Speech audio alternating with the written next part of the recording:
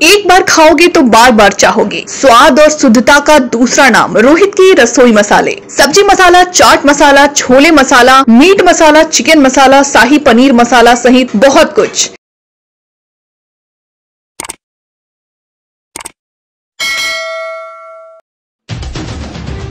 कांडी से अरुण चौबे की रिपोर्ट।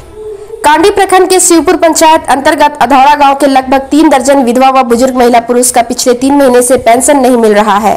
तीन महीने से पेंशन बंद रहने से उक्त लोगों के सामने कई तरह की समस्या खड़ी हो गई है।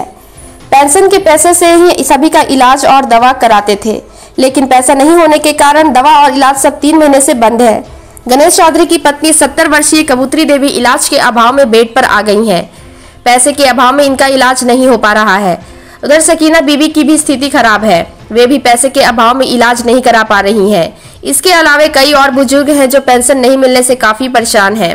पेंशन भोगी नियामुद्दीन अंसारी, रहमान मियाँ, जगदीश साव सोहराय राम, श्रवण राम, गणेश चौधरी, कबूतरी देवी, किस्मतिया कुंवर, मालती देवी, समुद्री कुंवर, मुनेश्वर ठाकुर, राम प्यारी देवी, आसमा बीबी, करमू चौधरी, झुपली देवी, बुलाकी साव सिराजुद्दीन अंसारी कौशल्या कुंवर, महेश राम, कैलाश राम सुबचनी देवी रामचंद्र राम, दमरी राम कोयलवा कुंवर, अंति कुंवर सहित कई बुज़ुर्गों ने सरकार से गुहार लगाते हुए कहा है कि तीन महीने से बंद पेंशन को जल्द चालू कराएँ, ताकि हम बुज़ुर्गों की ज़िंदगी कुछ और दिन चल सके।